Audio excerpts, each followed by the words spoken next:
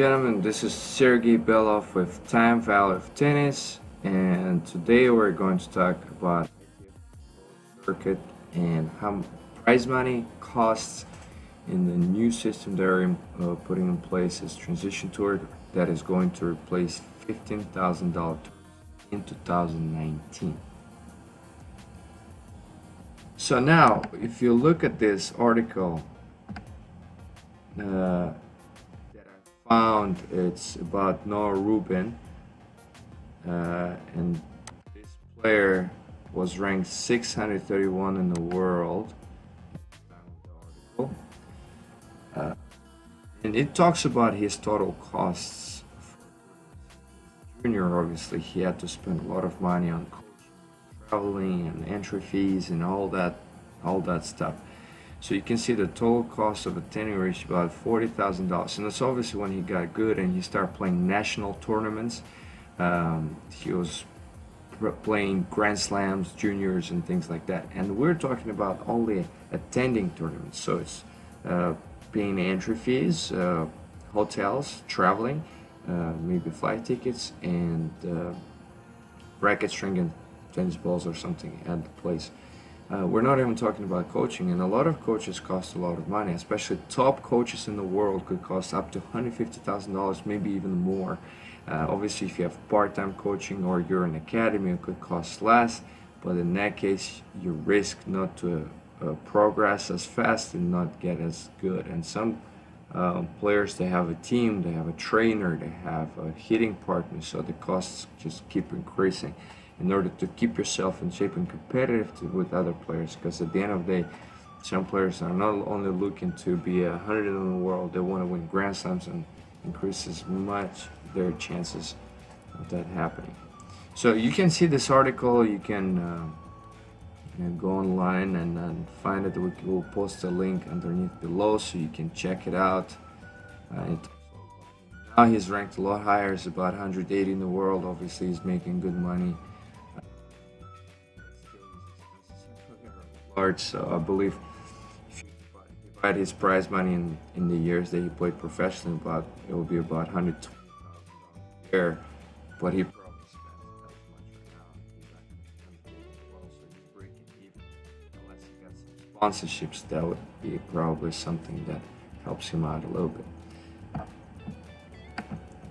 Now, next thing we're going to talk about is prize money. How much money are you going to be making in those entry level tournaments? So when you're starting, for example, you're uh, thousand the world, whatever, you just start making points. What are the prize money you're making?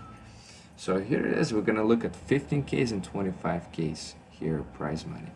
And you can see that uh, if you win the tournament, you're making 2100 uh, for 15K and uh, 3600 for 25K.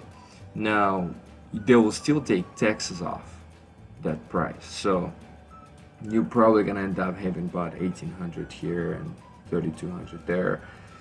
And if you're playing outside of your country, they'll be charging taxes for your country and country where you're playing at. So you have to take that in consideration as well.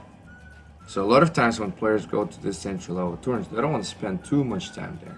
They want to get as many points as they can and keep going up a level and going to $50,000 turns and $60,000 turns and so on and so forth so they can get more money and uh, be able to travel and, and, you know sustain themselves.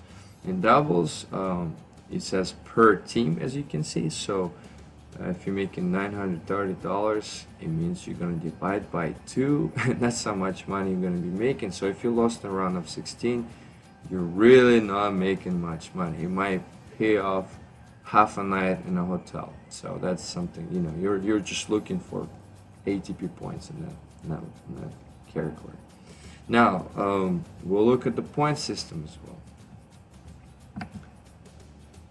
So here you can find the amount of points that players make. And here you find 25,000 plus each. What does that mean? And you get more points for it? That's interesting. Um, but H means housing. So basically, in those tournaments, the, the organization provides players mainly for main draw players. So if you qualifying rounds, you're not going to get housing. But it helps a bunch. Obviously, you're making more points. It gives you better chance to enter higher level tournaments, and uh, you don't spend money on housing, only on traveling to those tournaments. Um, so now let's see. If, let's let's see. Let's say you won this 15,000 tournaments. You got 18 points. You won two of those tournaments. You got 36 points. What does it mean? You just have to go to uh, players ranking and check what the rankings are in this year. Now, most of the time, 35.30 or 35 points, uh, those points for people to be about 750 in the world, 750 in the world. So that doesn't guarantee that you're going to be in the main draw of any tournaments, even $15,000 tournaments yet. Uh, you'll be close, but you might be still in qualifying rounds. But most of the time, depending on the time of the year or you know where you're playing, you could potentially be in the main draw of those tournaments. Now, how do you find out uh, about the tournaments and how you know if you're in the major or not? Uh, you would have to uh, find uh, cutoffs, which is on on the page uh, on the ITF tour, and it's to show you all the tournaments in the world and the cutoffs in those tournaments. So you can see here Hong Kong, Hong Kong Los Angeles, Turkey, all the tournaments, and tells you the number one seed in the main draw, the player, the last seeded player in the main draw. Uh, the if the qualifying rounds, who was the last one to enter. If it's on NR, it means non-ranked player The way they take ranking in consideration. So if you enter for singles, they'll count your singles points, ATP singles points, then uh, national singles points, and then they'll count non-ranked players, and they'll allow them to play in the main draw. Uh, so you can see and look all, through all these tons of tournaments, and you can see how many tournaments there are. And, and now you can see how many $15,000 tournaments a year. You can see a ton of tournaments, and I believe it's about 657 tournaments a year of 50,000.